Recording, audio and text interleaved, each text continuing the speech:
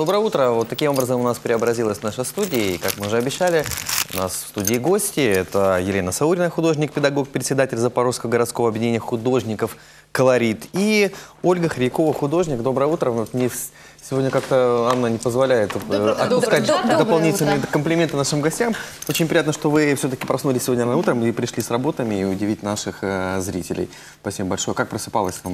Тяжело. Тяжело, знаете, Очень Тобто сложно. ранок для будь-якої творчої людини це дуже складна праця. Ми в курсі, до речі, от щойно судила, побачила, що е, наші гості сьогодні принесли ще нами фотографії своїх робіт. Тож сьогодні будемо не лише говорити, але і побачимо про що іде мова. Ну, у нас сегодня изменилась и полностью студия, изменили даже декорации. И у нас настроение уже такое вообще абсолютно не осеннее, ближе к весне. Потому что как раз вот то обилие и количество красок, которое наполнило нашу студию, как-то вот немножко преобразило и настроение. Прочь какой-то зимняя депрессия.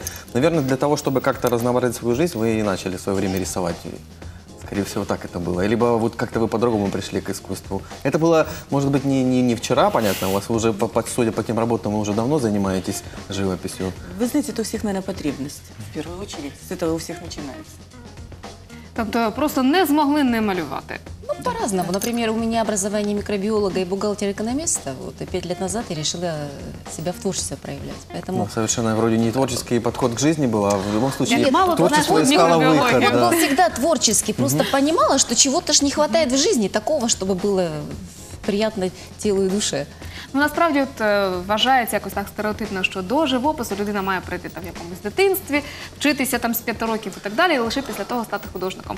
Я так розумію, що ви до живопису прийшли е, власне зовсім не з дитинства, і незважаючи на те, сьогодні ми можемо бачити такі прекрасні картини, абсолютно професійно виконані. Ну да, ну потому что обычно, если человек закончил, получил высшее образование, два высших образования, он все, за все, что берется, делает уже, ну, старается хорошо. Вот я всегда тебе говорю, ты говоришь, что вот ты закон, получил два диплома, не работаешь без специальности. Главное выучить методику, Да. а там как в жизни Да. получится А по-другому. Кстати, очень часто по как раз методике. работая с, там, с какими-то домашними материалами, домашним интерьером, люди приходят к тому, что начинают рисовать, что-то изобретать, э, что-то делать там, вязать и все остальное. Вот какие-то вот из таких а, обыденных ситуаций э, приходить в искусство, и ты уже не, не- не успеваешь оглянуться, как через полгода у тебя выставка в городе. Ну я думаю, що про виставку ми поговоримо трохи згодом. У нас ще є час. А поки що давайте з'ясуємо, дівчата, де чиї роботи і хто власне яким видом живопису займається. Ну, я занимаюсь витражной росписью. Живописью тоже занимаюсь, но витражная роспись, это, скажем, в последнее время она меня очень увлекает. Поэтому акцент я в выставке сделаю именно на витражной росписи. Выставлена была, представлена на выставке витражная роспись.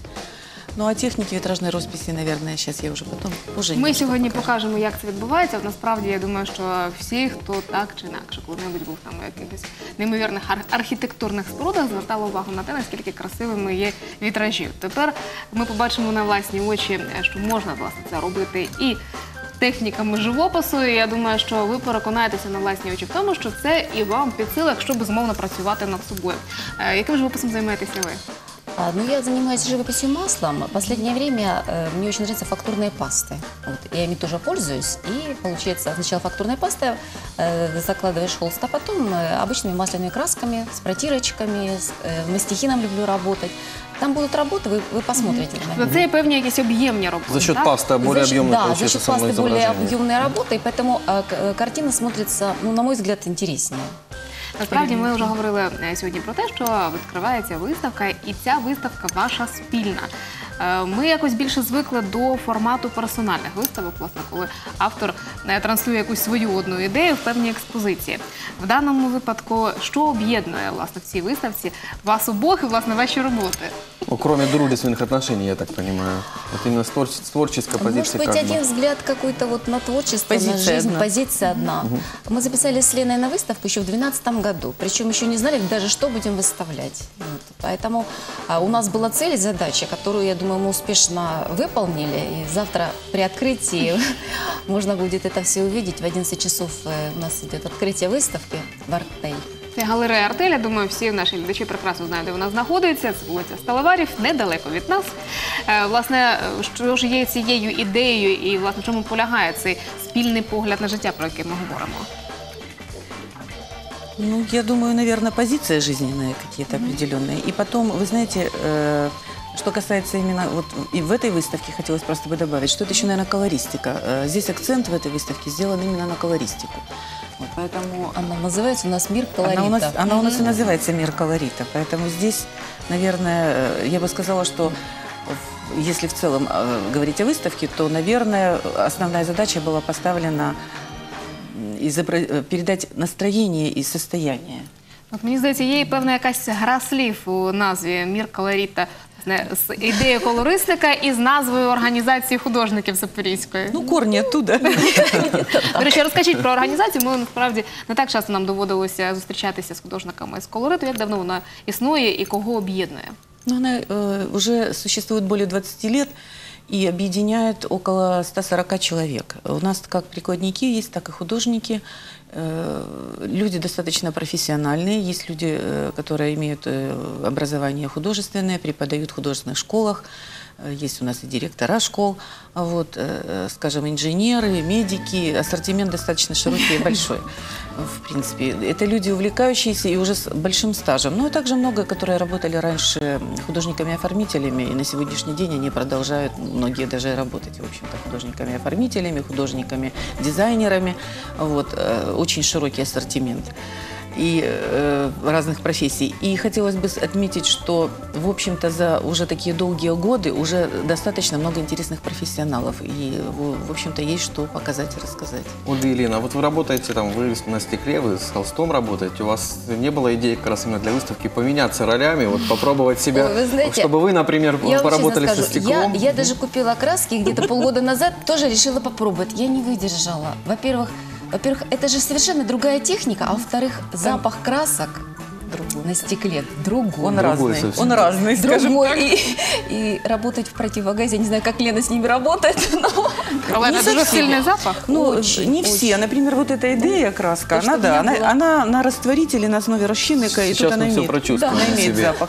Ну, я бы не сказала, что такой м, критический уж. Ну, это, да, есть пару наверное. нормальных но, но повесток. тем не менее ощущается. ощущается. Ну, зрештою, може хтось і в цьому знаходить натхнення, а чому ви і ні?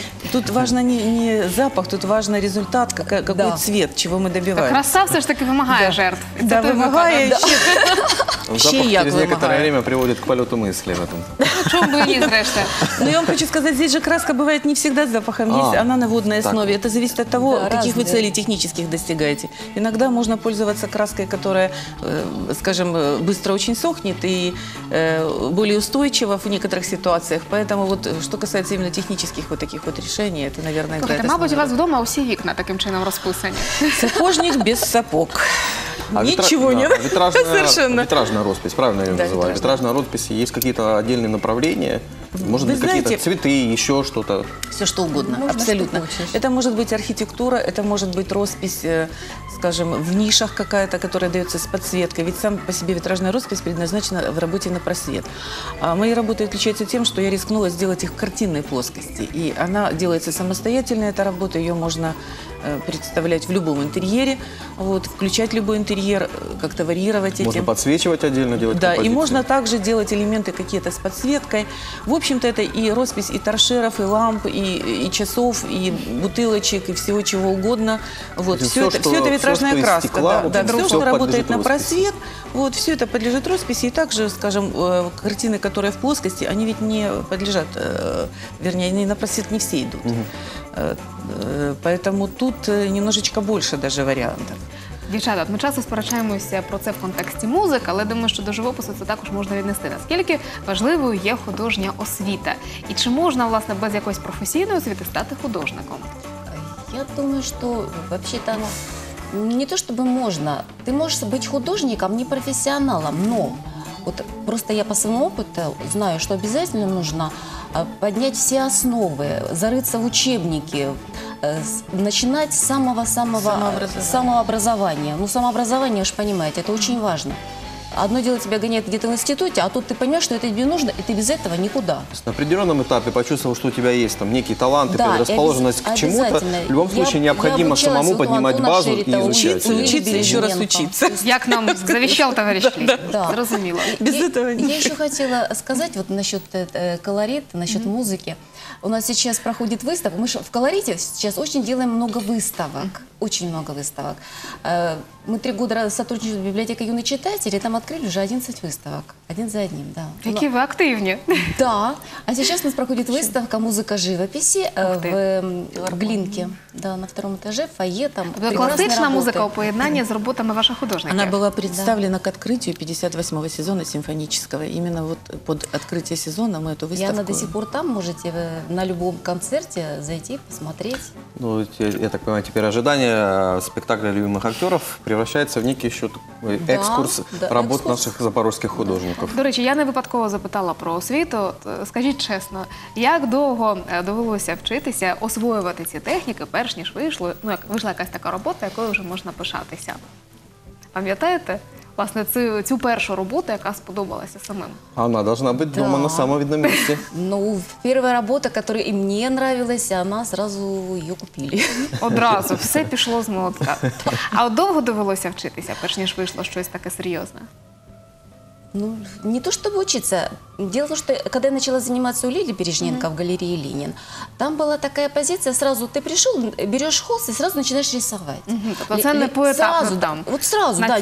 нет, там нет, ці Да, все не так. Все Чи так? сразу. То есть, и, и поэтому у меня то- нет чувства боязни холста, понимаете? Я вот сажусь, и я понимаю, получится, не по- получится, и начинаю что-то делать. У меня нет чувства того, что я испорчу, вот, потому что всегда можно записать картину заново. У меня многие работы по два, по три раза записаны, и А у они вас становятся только лучше. У Леонардо, да, от можна шари потім буде знімати через кілька сотень років. Ви дивитеся, ну що ж там мав на увазі Ну, художник? да, и такое может быть. А у випадку зі склом, як тут власне справи відбуваються? Ну, ви Наскільки знаєте- довго треба техніку цю освоювати, перш ніж Ну, щось техника вийде? осваивается очень быстро. Э, Это несложно, что Да? касается именно самой росписи. Тут важно другое, это как основа рисунка везде. То есть нужно самой проработать сюжет, решить колористику. Для этого тоже какие-то знания нужны. И потом я долго занималась до этого живописью. И когда уже я включила с- в работу с- со стеклом, для меня уже это не было какой-то такой проблемой. Ничем в вас плане- не здивуєш. Нет, нет, нет, з- здивуєш, причем ще як. Вот. Тут тоже очень много своих нюансов, но все равно мне было чуть-чуть легче, скажем так. А вообще тут э, бесконечный поиск, экс- эксперименты, и это очень долго может продолжаться. Ну давайте експериментувати разом і в нашій студії. Зокрема, сподіваюся, ви нам покажете, як це відбувається. Мені завжди було цікаво, як виглядає цей виробничий процес. Давайте з самого початку. Все починається з ескізу, так? Да, все, все начинается с, с того, что мы делаем эскиз, вот такой эскиз, допустим. На отдельном листе. Да, на отдельном листике делается эскиз. Можно использовать стекло, можно использовать пластик, он тоже прозрачный. Потом это все накладывается. А краска подкладывается одинаково вниз. хорошо ложится и на стекло, и на пластик. Да, и, и на металл. Клад- э, краска предназначена для гладких поверхностей, стекла, металла, А пластика. вот по ходу как раз вопрос мы по поводу запаха уже выяснили. А сама краска, она предназначена для ну, использования потом изделий, может быть, только в интерьере, либо может, э, возможно, и выставлять их на улице. То есть к агрессивной среде Вы краска... знаете, есть к агрессивной среде сейчас такие технологии, что абсолютно все есть, можно потом в абсолютно, ландшафте Но- использовать Но, это специально, это Мгм. нужно обязательно Мгм, предварительно знать, куда, какую краску покупать. Хорошо, вот есть эскиз у нас. Вот такой эскиз. Вот, допустим, вот такие контуры. Это такой тюбик, который выдавливается, допустим, вот на поверхности. И может, э, если показать, я убираю отсюда. Убираю, чтобы это было лучше видно. Здесь прозрачное будет стекло. И, допустим, дополнительно нужно будет еще какие-то детали сделать. Я вот таким, таким посмотрю. образом он наносится, допустим. Це досить об'ємний контур. Да, он, он э, является не только контуром, объем создает, он еще дополни, он ограничивает перетекание краски жидкой. А, то есть это не некий барьер, в который может, мо- потом будет Мы сейчас будем краска. делать заливку, Мгм. допустим, фона, и эта заливка фона, она даст э, нам еще дополнительно. Контур э, тоже может быть разных цветов. Контуры бывают разных цветов, в зависимости от того, что вы решите э, выполнить в сюжете. До речі, а як е, довго треба чекати, там точно ж підсохне перший цей с- Значит, шар або контур, контур? подш- подсыхает где-то минут ну, 10-15, Тобто скажем. все доволі швидко. Да, достаточно быстро. Потом достается вот такая жидкая красочка. Коли ми кажемо заливка, от я собі уявляю там якийсь шприц і майже медичні маніпуляції. Обычная кисточка, без всяких проблем. Новогоднее заливное. Заливное. И На вот так годинниках вот восьма, комусь пора снідати. И вот капая вот так вот капельку эту растягивая потихонечку, аккуратненько. Це от треба бути дуже акуратною людиною. От я собі уявляю, я це роблю, І ні- і у мене весь контур був би в цій фарбі.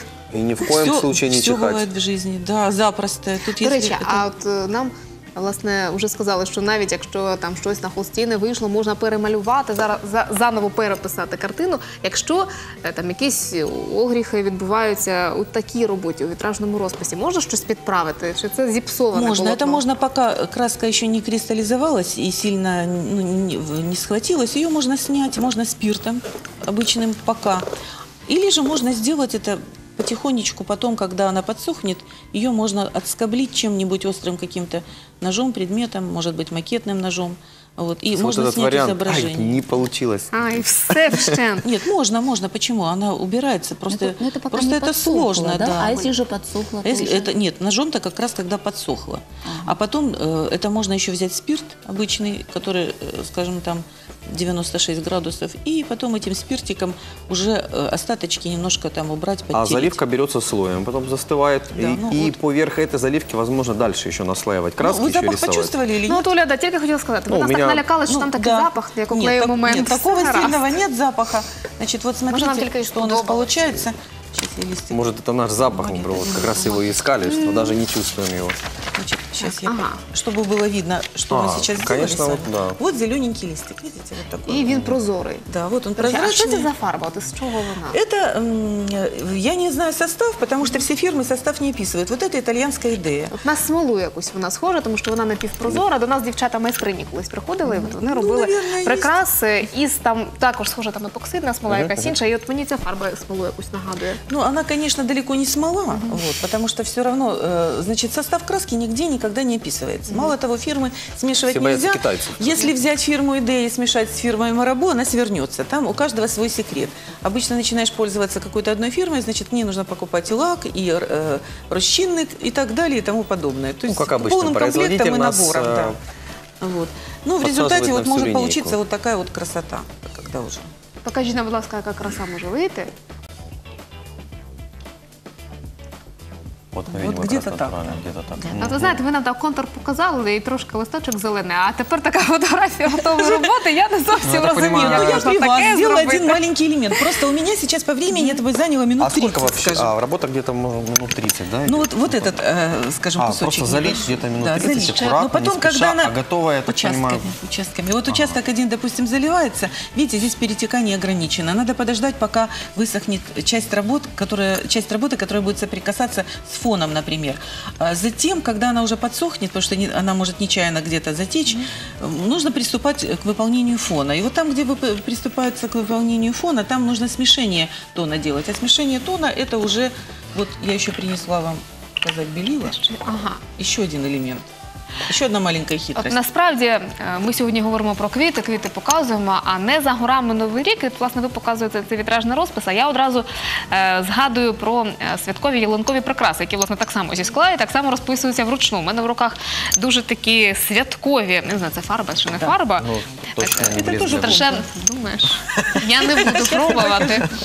От, власне, такі святкові, блискучі, я думаю, що це фарби. І думаю, що е, таким чином, якщо навчитися, можна робити і е, або вітражні картини, або справжні прикраси до свят, до Нового року. Щось таке Можно, в принципе, в если- традиційній естетиці Если новорічній. э, сделать э, отверстие, э, вот, как раз можно придумать приспособление и подвешивать как раз на новогоднюю елку вот такие красивые э, украшения. Почему? Тюбики, почему? прямо в тюбиках. Нет, тюбики, тюбики мы будем э, э, в другом, э, Ну, потім по- до цього- по-другому да, До использовать. цієї ідеї ми ще повернемось. Да.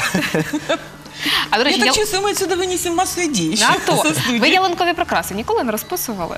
Нет, еще до Так уж этого, до скло. этого еще не дошло. Я Мы как просто раз дивлюсь, говорили, что а, материалы могут, Ну, всё могут быть впереди. разные. Может, м- может быть стекло, может быть пластик, может быть металл, а мо- могут быть как раз вот заготовки для новогодних игрушек. Слухай, в принципе, знаєш, где-то що так же похоже. було б дуже ще класно і красиво. То щойно мені така думка в голову прийшла. Оскільки це скло, оскільки вітражний розпис е, якраз призначений для того, щоб працювати на просвіт, то можна е, купувати величезні лампочки і їх розмальовувати. От, власне, до температури ця фарба якось резистентна Ну, чи вы, ні? вы знаете, да. Во-первых, выдерживает температуру. Есть такая краска, которая выдерживает температуру. Ведь сейчас при новых технологиях есть краски, даже когда вы можете расписать тарелочку, чашку, и это можно мыть в посудомоечной машине. Вот, в частности, краски Марабу, у них есть э, эм, э, новые, новые вышли совершенно Я даже не знаю, как, не помню просто, Термостійкі как они якісь, да? называются. Ну да, они термостойкие, но э, вся сущность заключается в том, что вам даже не нужно запекать эту краску. Вот она высохла и все. А и це она треба уже- запікати. Э, Эта краска нет, это совершенно другая, она не подлежит запеканию, эта краска. Она предназначена для покрытия просто сверху лаком и распо- располагается на таких поверхностях, которые не термоустойчивые, допустим, и для этого и не нужно совершенно. Ну, а я вам хочу сказать, что сейчас же лампочки такие, что можно и... Взяти Вони- величезну. Да. Они не дают тепла, да, Да, они ты представляешь, они совершенно... не нагреваются. Да? Да, я тебе Они открою секрет, новые лампочки ладовские, они не Ну, вот нагреваются, я хотела того, что они показать, еще вот, экономны. смотрите, видите, вот сейчас я соединила еще, это называется растяжкой, соединила белый цвет с э, зелененьким, и вот он такую вот дал нам Слухайте, растяжечку. Кстати, у нас вот скользь про, про, проскользнула такая фраза. Получается, когда картина уже закончена, вся композиция потом покрывается лаком, да? Да, да, Вот это как женская прическа. Вот сделал, накрутил, потом лаком Она фиксируется зафиксировал. для того, чтобы ее потом не так было тяжело повредить, скажем, при Підозріло багато знаєш про Да. зачіски. Поцарапать гвоздиком и так далее. Ні, насправді я вже загорілася ідеєю розпису лампочок, і ми обов'язково, я думаю, сьогодні розшукаємо якусь лампочку і попросимо дівчат нам її красиво розмалювати. Тоді у нас з тобою під новий рік буде ще й красиве світло. От бачиш, є таке звичайні буденні, е, звичайне буденне світло, а на якесь свято вкрутили і краса.